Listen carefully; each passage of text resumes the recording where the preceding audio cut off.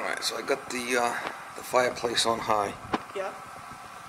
And it's nine point, 9.14 on high. High flame. And I'll go down on low flame and we'll see it. Okay. flame's looking good. Pressure's looking good. 9.08 on high. What I'm gonna do is just lower it down to low, low flame.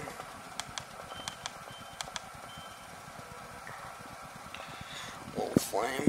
We'll see my pressure dropping here. So we know that high and low is working. You can even hear the difference in the two.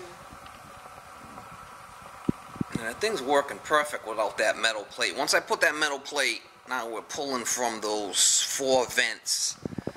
Okay, so 6.23.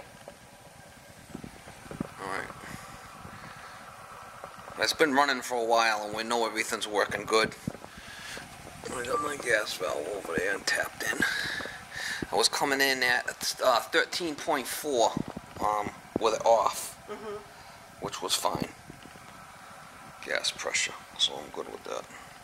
Alright, so we'll ramp this back up to high and then we'll shut it off.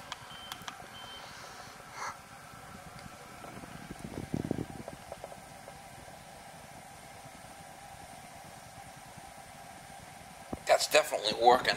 Okay. Okay, so now I'm going to put the plate back and we'll Okay. see what, what our flame looks like with the plate on there. Alrighty.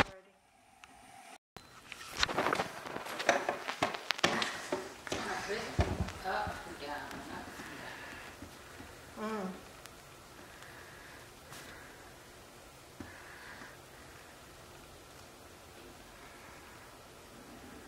That's kind of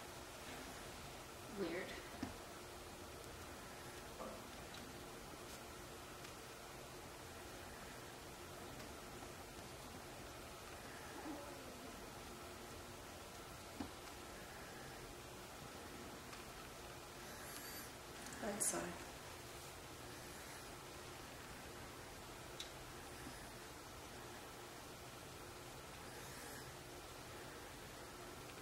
That all could be if that them hoods aren't in there all the way. Mm-hmm. You know, and it's breathing back on itself. The exhaust is going out, and the exhaust is going into the inlet ear.